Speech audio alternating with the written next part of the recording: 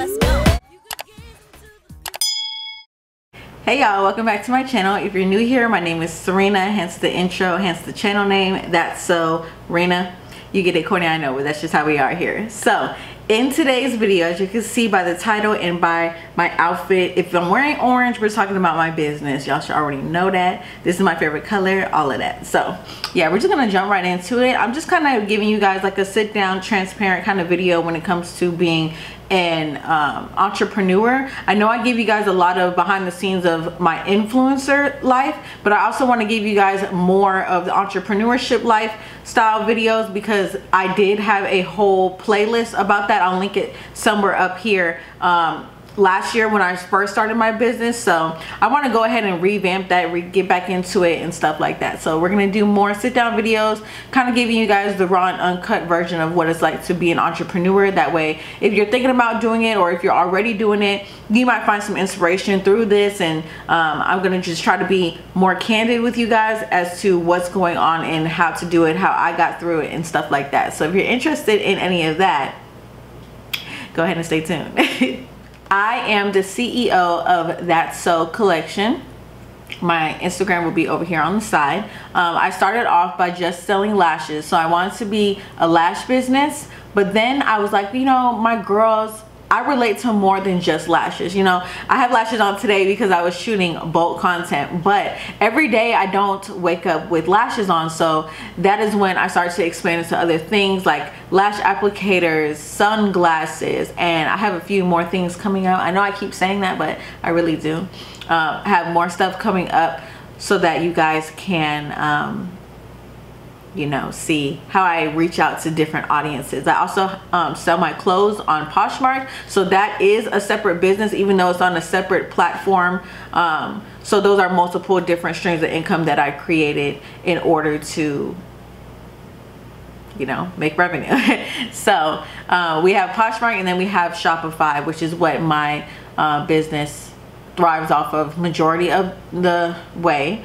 Um, yeah. So yeah, that's a little bit of background. Um, I started it during the pandemic when everybody was pretty much inside for the most part. I don't know about Atlanta. Atlanta have been doing its own thing since day one, but uh, for the most part, majority of my audience was inside on their phones. So using social media um, really did cause a spike in my sales and things like that. So I was able to branch off of that, utilize that feature um, because nobody was at work everybody most of the people were on unemployment just sitting at home you know scrolling through instagram. So that, i'm going to talk about that more later but yeah that's what i got into. And i was like this is the perfect time everyone's home you know? Um, nobody was really going anywhere but just feeling pretty inside and feeling pretty like within yourself. Like some days when i was in the um when we were going through the first stages of the pandemic i would be at home you know making videos and talking to you guys. And i just felt normal doing my makeup as if I was going somewhere taking pictures and stuff like that. Y'all know I was posting pictures probably every single day on my personal page. So yeah that is where this all started from. And I utilized social media to grow pretty much so I want to talk about what I was doing prior to that. Um, prior to that, I was working at different staffing agencies and you know, I just wasn't happy. Like I've always known that I was going to be a CEO or a owner of something tangible. Um, only because I like to connect with my audience. I'd like you guys to have something that came from me specifically and stuff like that. So I knew I wanted something. I knew I didn't want clothing but um, like I knew I didn't want to be a fashion designer. I knew I didn't want to do any of that. Um, prior to even being on YouTube full fully like how I am now and consistently, I was a makeup artist. So I worked alongside a photographer and I would do everybody's lashes and everybody's um, you know makeup for their shoot so if you booked with him you automatically would book with me and I would get a cut of the shoot for doing your makeup and stuff like that. So that's what I was doing at first and then I was like you know I just don't like the whole setup of having clients relying on them to pay my bills because if they cancel then boom now I, now I gotta do something else. So I didn't really like that that much. So I then said, you know what, let's sit down, let's go to the drawing board and see what is my favorite part of makeup. So I already have a friend, her name is Corey, she does lip gloss. So I know I didn't want to do lip gloss. Um, I'm to link her information down below. So I know I didn't want to do lip gloss and I knew I didn't want to do lipstick for sure because like that just gives me the creeps because after the whole Jaclyn Hill thing, I was like, oh no, I'm not, I'm not doing lipsticks. so yeah. Um, then I was like, you know what? When you put on a pair of lashes, you don't even have to do your makeup. If your lashes are done and you have lip gloss on, mwah, perfect. It's literally the perfect combination. Like you're already put together that quick. As long as your hair done, your lashes and lip gloss are on, you don't really need any makeup, foundation, anything like that. Um, and like I said a lot of things were closed so it wasn't like you could just go to a lash appointment so I was like you know what let's make lashes I want people to feel beautiful even with nowhere to go even with everything being closed and stuff like that so that is how that's so collection came about and I knew I didn't want to call it um, That's So Lash Company because I knew I wanted to eventually do more than just lashes.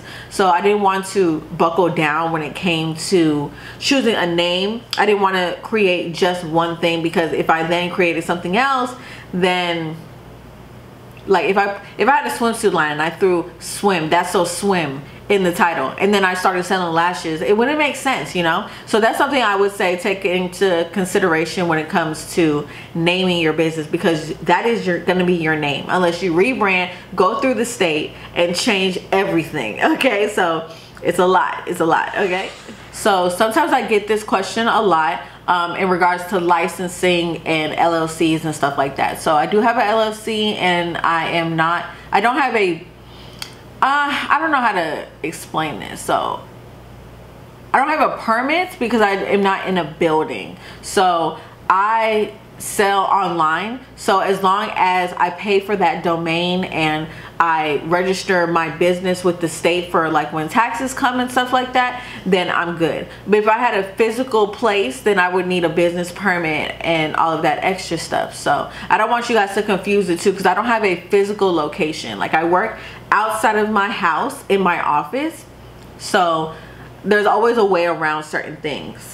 Sorry guys, somebody's calling me. I work from home online. Um, so I promote online, social media plays a big role like I said before. And then I just post the quantity and stuff like that to Shopify, make sure I take my product pictures and stuff like that.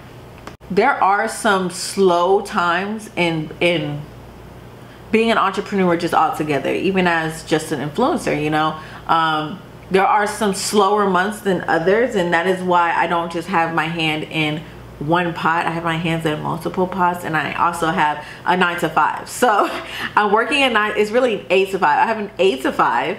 I am on YouTube with you guys. I give you guys three videos a week. I have a Poshmark and I have a business. So we got a lot of things going on. So once you change your mindset to let me see how do I want to think about this? So I was I was watching Kayla Cake and she was saying how um, you know how do you find a balance and stuff like that? Um, but if you have a nine to five you're like okay well I have to wake up by 7:30 in order for me to do this do this do this and so that I can get to my nine to five on time right? So that's the same thing with these businesses. I literally have to write like I'm not even kidding like look at my notebook and I literally have to put check marks and stuff like that of anything that comes to my mind. I could be at work and it comes to my mind. I have free time or I'm on break.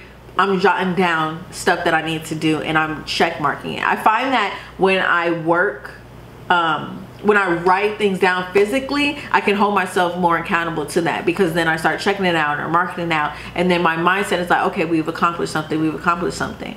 And also don't overwork yourself. This is really just a pep talk and mindset kind of video ignore my nail it popped off i wear press-ons um, this is really like a sit down talk motivation type of video. This is not me showing you guys anything pretty much. This is just me bring you guys back to square one figure out why you want to do something figure out who you want to be from doing it what you want to um, emulate the kind of lifestyle that you want to portray to others so that they're able to see that they can do it too. That's why I do what I do, you know. That's why I wear this hoodie because I feel like I am a creative. Like I'm just a creative in all aspects. So when I think in the way that I think, it's I can do anything. And if I can do it, y'all can too. So I want y'all to look at me. I'm like a regular girl. Okay? I'm a regular girl. It's just that my brain is constantly on and constantly moving and stuff like that. So you want to have some kind of structure. Don't be like the Energizer Bunny just running all over the place. Okay?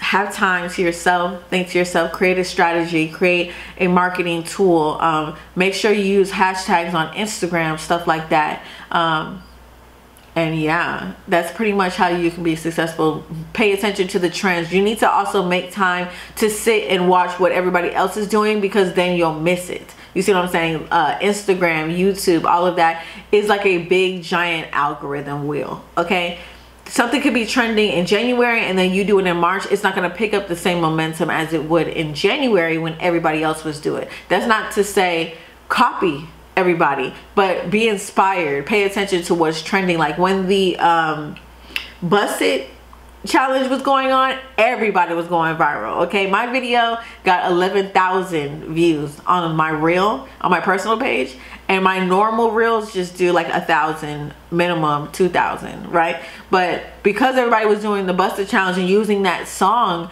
my views went up. Just the same as my business page. Like there's a um, there's one that's like um, it costs that much because it takes me fucking hour, fucking hours. That one that one was trending about last month with all the influencers and stuff. So that is a sound you want to do. Okay. And the like the did it on them challenge with the transitions, all of that stuff. You want to learn that stuff because trendy things catch people's attention. Um, I know if I'm scrolling down, if I was scrolling and I heard the Buss It challenge, then it grabbed my attention because it's like, oh, another one. Boom. I want to see the transition. I want to see where you go from this to that. I want to see that. So use those same tools that you would for your personal branding for your business as well because then they will sync and people will want to know what you have going on across all platforms. Um, the lashes that I'm wearing right now are in the style full and they kind of give me like a, a lash extension type of feel. Let me lift my glasses up. They give me like lash extensions type of feel and yeah, I just really love them, you know? So yeah, guys, remember to check out my business. It will be linked down below in the description box as well as my poshmark. Uh, remember to like comment and subscribe and let me know what other entrepreneurship videos you guys are interested in because i'm willing to share anything that could lighten the load on you guys because I know when you first start it's nerve-wracking. You don't know what to do. You don't know what you're doing wrong. You see all these other girls with this kind of lifestyle able to do the things that you want to do and you just want it to happen for you. There is no elevator to there is no elevator to success okay? You have to take the stairs. You have to trial and error. You have to figure things out for your own. What might what might work for me might not even work for you. You see what i'm saying? Um, so it's really just trial and error. I always say try something once before you say you'll never do it. Um, and post reels the reels are what's popping right now on instagram so i say post reels Make sure you post reels. Make sure you take quality Instagram pictures of your product. Make sure you have your customers wanting to take pictures with your product because then that just gives you free content to post. You see what I'm saying? So yeah. Oh, and make sure you wear your own stuff or use your own stuff. You know, people don't want to support you if you don't even like your own stuff. You know what I'm saying? So don't talk down on yourself. Make sure that you are speaking positivity over your business, over your life, over any aspect that you think you want to succeed in pretty much. That's pretty much all I have to say about that. so yeah, you guys, remember to like, comment, and subscribe, and I'll see you guys in the next video.